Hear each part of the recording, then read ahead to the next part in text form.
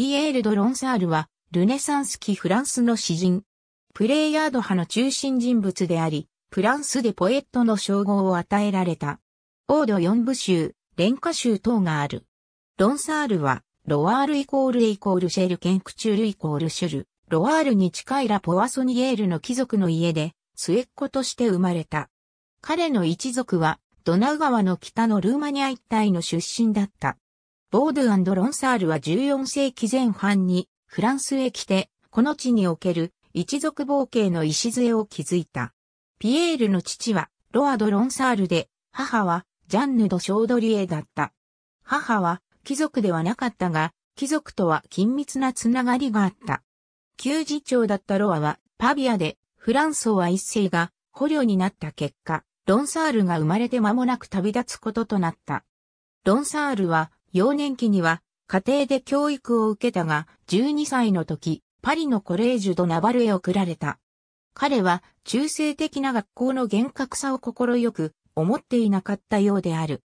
しかしながら、彼は経験の欠如にもかかわらず応対し、フランソワの故障に劣せられ、ついでその弟オルレアン公シャルルに仕えた。マドレーヌ王女がスコットランド王ジェームズ5世と結婚した時には、彼女に付き従い3年間をスコットランドで過ごした。1540年にフランスに帰還すると、再びオルレアン公に仕えた。この職分は彼に旅行の放棄を与えた。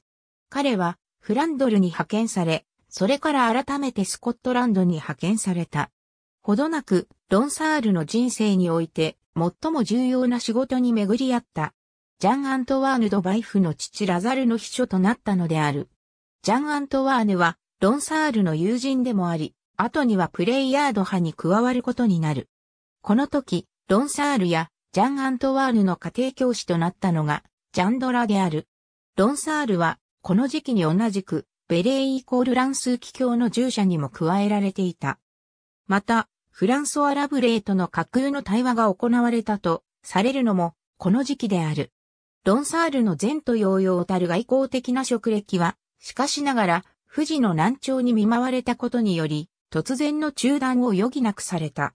そこで彼は、学問に生涯を捧げることを決意した。彼は学び者として、すでに面識のあったドラガ学長と、ギリシャ語教授を務めているコレージュド・国レを選んだ。ジャン・アントワーヌ・ドバイフがロンサールに追随し、間もなく、そこに、ジョアシャン・デューベレーも加わった。この時期の同窓生に、マルク・アントワーヌ・ミュレもいた。彼は後に、フランス悲劇の誕生に際し、重要な役割を果たすことになる。ロンサールの勉学期間は7年に及んだ。古典ギリシャラテン文学の根源の摂取を称賛する。その文学的新潮流の最初の宣言。フランス語の用語と兼用は、友人デュベレーにより執筆されたものである。この時プレイヤード派が実質的に産声を上げたと言える。ロンサールは少し遅れて、処女作、オード四部集を交換した。1552年には、恋愛詩集と同時に、オード第五部が出版された。これらの作品集は、フランス文学界に真の論争を巻き起こした。歴史はその時存在していた論敵や批判者を描き出している。マロハの司会メランド3イコールジュレは、国王の前でロンサールの詩を読み上げるときに、国旗下ろす目的で滑稽に読んだ。しかしある時、王妹マルグリットがメランの手から詩集を取り上げ、詩本来の素晴らしさを活かして読み上げた。読み終わると、その詩に見せられた大広間からは、割れんばかりの拍手喝采が湧き起こった。ロンサールが詩人として受け入れられたのである。以下に彼の王土の一部を紹介する。その栄光は急激で計り知れないものであった。大衆におもねる必要は全くなかった。1555年から1556年には、サボイア公妃マルグリットに捧げた参加を出版した。彼は1556年に恋愛集を完成させた。伝説では1560年にフランソは2世と結婚したメアリー・スチュアートの要請で全集を編纂したという。1565年には興味深いフランス司法の抜粋と同時に愛花仮面舞踏会、牧歌を出版した。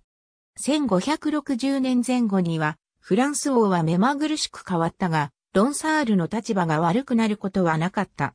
フランソは2世の後に即位したシャルル9世もロンサールに見せられた。こうした徴用には、いささか負の効果もあった。シャルル9世の求めに応じた書、フランシアードは、ロンサールのそれ以外の作品と等価なものではない。シャルル9世に選ばれたのは、惜しむべきことに、アレクサンドランよりも一行十音綴りの詩だったので、ある。シャルル9世の死後も、ロンサールの宮廷での交流に変化はなかったようである。しかし、病状が悪化していた、彼は晩年を宮廷外で過ごすことを選んだ。彼は、バンドームの自分の家や、そこから遠くないクロワバル修道院に滞在した。またコレージュ・ド・ボンクールの学者ジャンガランの招きで、パリにも滞在したことがあった。彼はおそらく、フォーブール、サンマルセルにも自宅を持っていた。ロンサールは多くの友に先立たれ、自身の病気は悪化していったので、その晩年は十分に悲劇的なものだったと言える。エリザベス一世を含む外国の君主たちは彼に贈り物をすることがあった。病状にもかかわらず、ロンサールの創作はなおも優れた水準を保ち、晩年の作品のいずれをとっても傑作であった。フランソワラス・ドヌーは、ロンサールに対抗する詩編を執筆している。1585年12月27日、ロンサールはトゥールのサンイコールコーム協会に葬られた。ありがとうございます。